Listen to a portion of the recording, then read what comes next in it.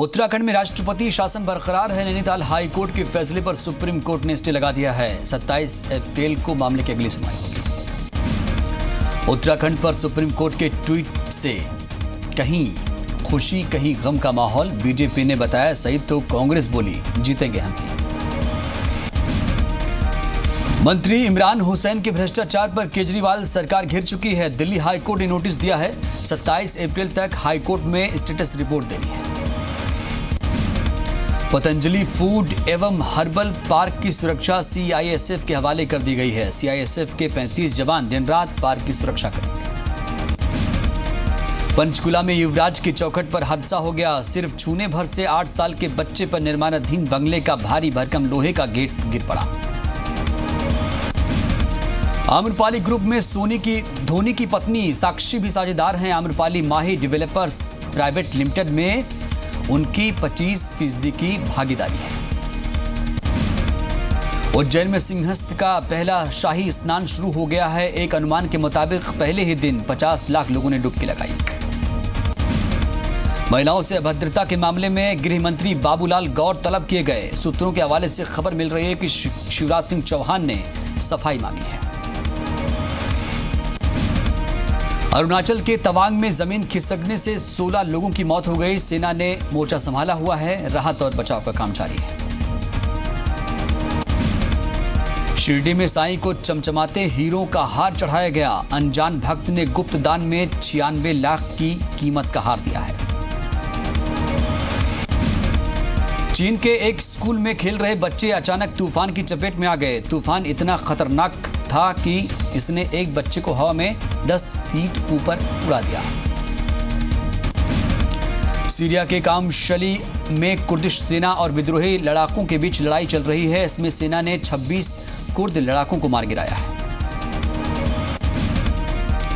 France के कांस में ISIS के बढ़ते आतंकी खतरे को देखते हुए पुलिस ने मॉक ड्रिल किया। कांस में कुछ दिनों बाद ही फ़िल्म फेस्टिवल का आयोजन किया जाना है।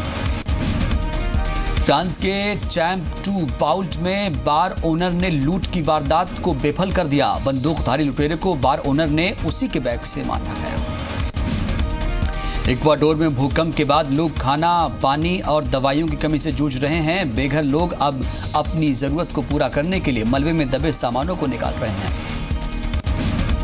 चीन के राष्ट्रपति शी जिनपिंग ने सेना का नया अहदा ले लिया है। शी अब सेना के ज्वाइंट ऑपरेशन कमांड सेंटर के कमांडर इन चीफ बन गए हैं।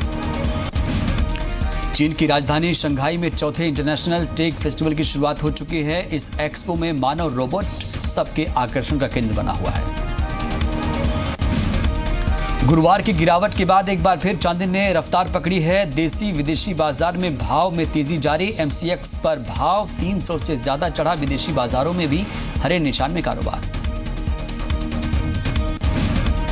क्रूड में उतार चढ़ाव रुख देखा जा रहा है। ऊपरी स्तर पर बिकवाली बढ़ने से एमसीएक्स क्रूड में गिरावट बढ़ी है।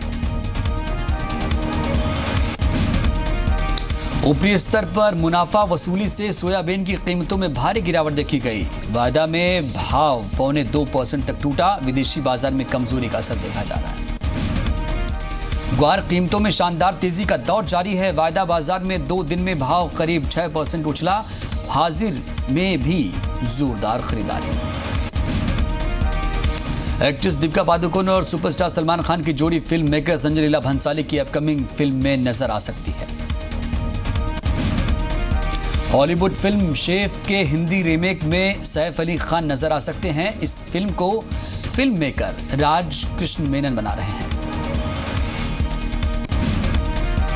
शाहरुख खान ने एक इंटरव्यू में बताया कि हाल ही में रिलीज़ हुई उनकी फ़िल्म फ़ैन का सीक्वल नहीं बनाया जाएगा। एक्टर सिद्धार्थ मल्होत्रा और कैटरीना कैफ स्टारर फ़िल्म बार बार देखो का फ़र्स्ट लुक आउट हो गया है। अनुष्का शर्मा ने अपकमिंग फ़िल्म फिलौरी की शूटिंग शुरू कर दी है। इस फ़िल्म में अनुष्का के साथ पंजाबी एक्टर दिलजीत, दो साँझ नज़र आएँगे। Film maker R Balki, Shahrukh Khan और सलमान खान को एक साथ एक फ़िल्म में कास्ट करना चाहते हैं। हालाँकि बाल्की का कहना है कि एक अच्छी स्क्रिप्ट की तलाश है। अपकमिंग फ़िल्म, अजहर के प्रमोशन के लिए एक्टर इमरान हाशमी और प्राची देसाई मुंबई के एक रेडियो स्टेशन पहुँचे, लेकिन रियल लाइफ के अजहरुद्दीन, यानी इमरान हाशमी रियल लाइफ के क्रिकेटर अजहरुद्दीन से जुड़े सवालों का जवाब ठीक से नहीं दे पाए। अपने अपकमिंग प्रोजेक्ट की शूटिंग से पहले एक्टर सैफ अली खान और करीना कपूर खान लंबी छुट्टी के लिए स्विट्जरलैंड चले गए हैं। हाल ही में दोनों को मुंबई के एयरपोर्ट में देखा गया हर साल की तरह इस बार भी ऐश्वर्या राय बच्चन और सोनम कपूर उनहत्तरवें कान फ़िल्म फेस्टिवल में हिस्सा लेने फ्रांस जाएँगी। दोनों एक ही कॉस्मेटिक ब्रांड की एम्बेसडर हैं। राजस्थान सुपरफास्ट का सफ़र यहीं तक।